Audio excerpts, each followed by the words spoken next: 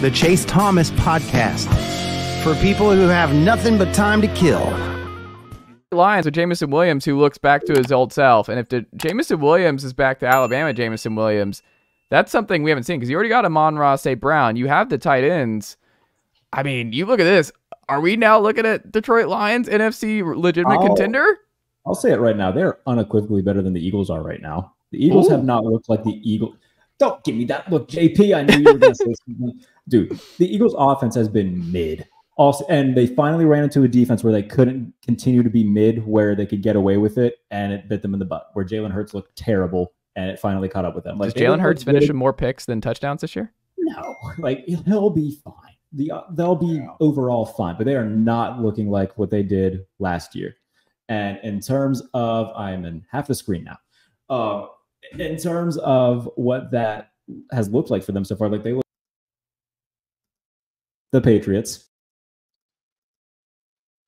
This is a There whole. you go. There to we your point. Yeah, I got you.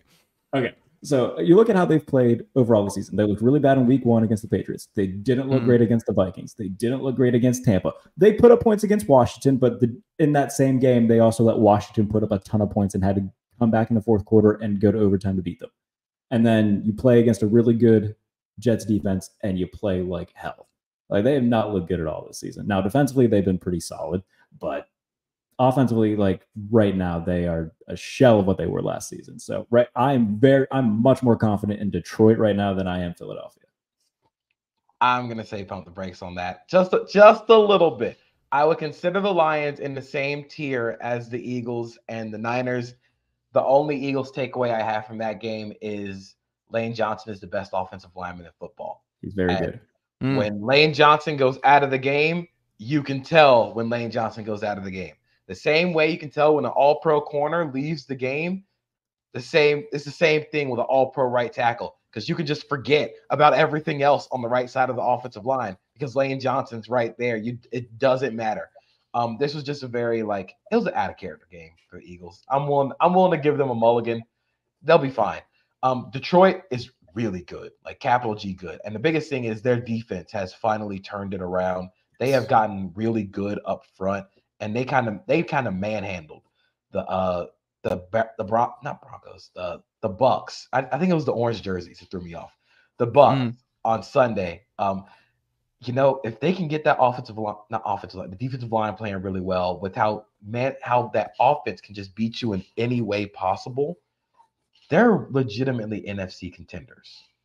And you, you you mentioned the defense. Last year, the Lions finished 31st in defensive EPA per play. They're seventh in defensive EPA right now. So just a massive jump that they've taken.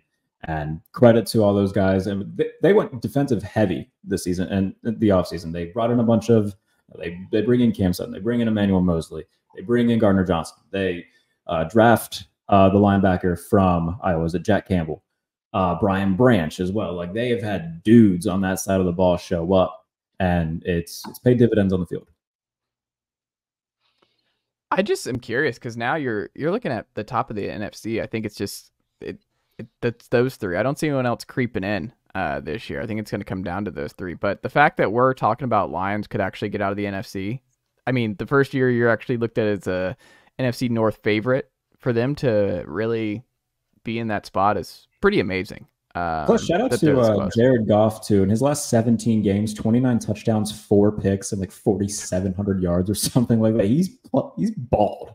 I wouldn't say they're in the top three of the NFC, and I know they did lose on Sunday, but the Seahawks are playing really good. Oh, The- we the got. They're are- better than the Seahawks, though. The They're better. They they lost to the Seahawks it's this just- year. Yeah, meh. Tossing it out. We Yeah. toss it out. It happened. we There's tossed it out. No, happening. toss it out. No. We don't leave it on the field on this show. I We're all theoretical like, on this, the thing, on like this the, very look, the. Browns just beat the 49ers, and no one's saying that the Browns better than San Francisco, though. I'm you know not what I saying mean? They're better. I'm not saying they're better than the Lions. I'm saying the Seahawks are playing very good football right Oh, now. absolutely. And they Yeah. might not be in the same tier as the Lions, Eagles, Niners, but if we're talking like teams that can make a run in the NFC, the Seahawks should definitely be considered among those teams. The defense has played phenomenally. Now, now that everybody's healthy, they got Jamal Adams back. Devon Witherspoon in the slot is a Dude. machine. Amazing. the offense looked rough in the red zone, but that's kind of like a high variance thing. They've normally been good in the red zone. The Sunday was rough, but offense remains very good. Geno Smith remains very good. They can make a run in this NFC. And it's really tough to say because I know how they just looked and I know how they looked against the Niners. Dallas is still like they're they're still among those teams that can make a run. That those are probably the only five teams that you say like can make a run in the NFC. Dallas is like the uh, the Anthony Davis peeking around the corner meme. Like I I need to see more from Dallas, but uh, they're they're still there. I think Dallas, if they win the division, I'm looking at it where I'm like, yeah, they can they can win the NFC. I'm I think if they're a wild card team, I just we've seen the wild card Dallas Cowboys too many times. I just uh, I don't think they're running the gauntlet as a wild card team. I don't know. That's my gut. Um, we got the-